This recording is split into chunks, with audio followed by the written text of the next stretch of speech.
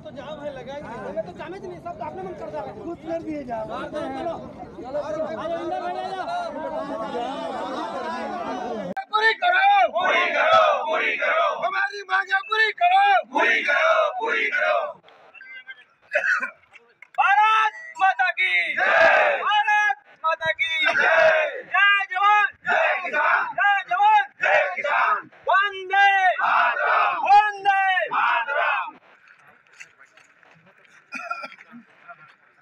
हम लोग पिछले 11 जुलाई से हम लोग धरना प्रदर्शन कर रहे हैं। पिछले तीन दिन से हम लोग भूख हड़ताल में बैठे हुए थे आमरण अनशन पे हमारी शासन प्रशासन द्वारा हमको कोई सुनवाई नहीं मिला जिसके कारण हमको आज चक्का जाम करना पड़ा है।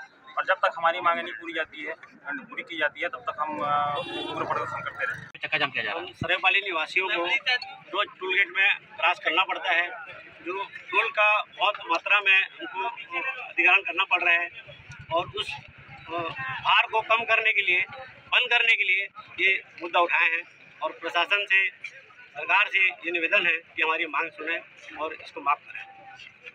हम लोग का मुद्दा ये है कि हम लोग यहाँ पर महासमुंद जितनी भी अपने गाड़ी के हैं, उनको टोल टैक्स फ्री किया जाए, क्योंकि हमारे साथ ऐसे स्वतंत्र व्यवहार केंद्र सरकार को क्योंकि यही चीज़ कानून दुर्ग में भी लागू होना चाहिए जो वहाँ पर फ्री किया गया है। राजनांदगांव में भी यही लागू होना चाहिए बरगढ़ में भी यही लागू होना चाहिए कानून जो है यहाँ पर लागू किया गया। लेकिन वहाँ पर छूट किया गया यहाँ पर सिर्फ़ पैसा लिया जा रहा है। जबकि पास में सिंघनपुर है और पीछे में हमारे यहाँ पसोरा गाँव है हर्राटार है।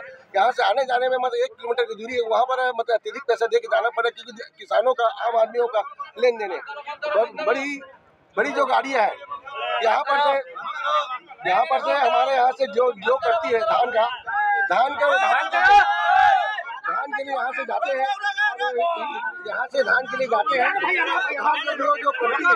क्योंकि यहाँ से सेलेपाली का अर्जुना फल का कुछ जाता है किसानों का।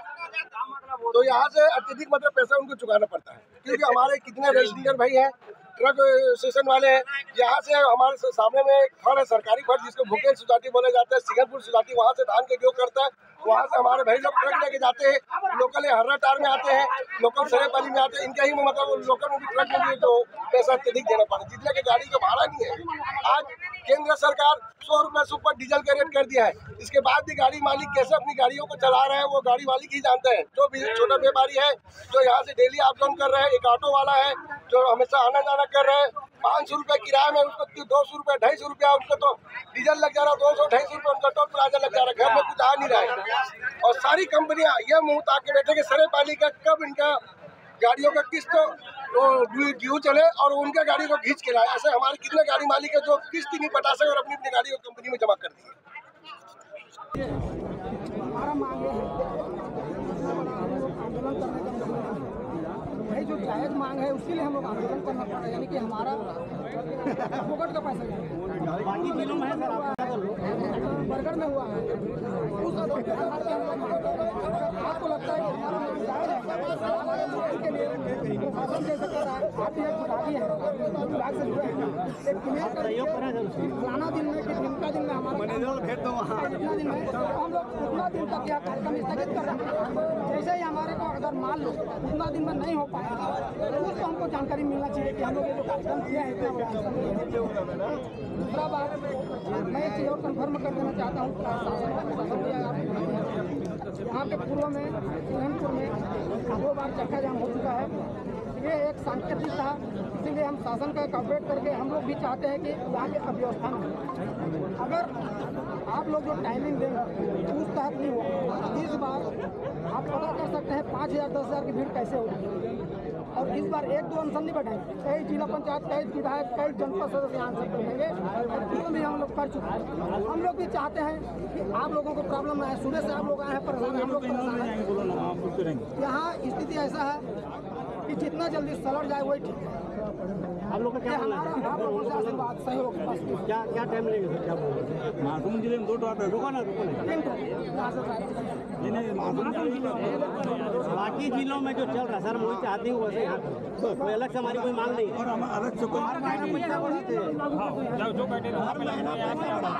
व्यवहार हो रहा है ना सर? बाकी जिलों में जो चल रहा है बोलने नहीं करने के लिए नहीं बोल रहे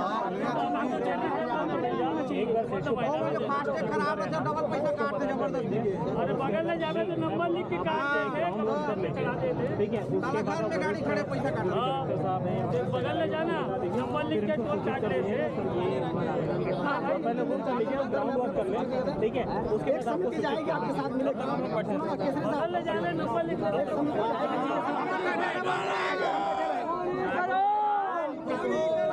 आप लोग कब तक बताएँगे सर वो देख कैमरा लगे वो देख आगे दो मिनट में फ़ोन में बात हो है या फिर आप लोग एक दो दिन टाइम लेते हैं हमारा अनशन चालू रहे कैमरा लगे नंबर आपका आश्वासन आता है हमारा अनशन खत्म करके उस समय का वेट करेंगे हम लोग छोड़ देंगे खत्म बात तो अभी हो सकती कुछ भी कर ले आप क्यों दस दिन से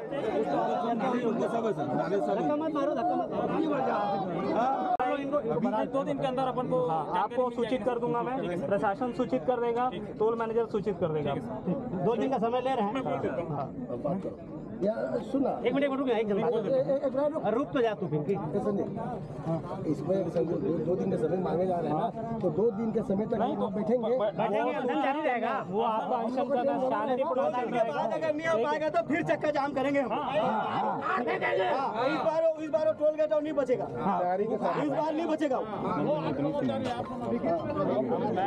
आपके ऊपर है कि कोई नहीं बोला सहयोग नहीं तो देता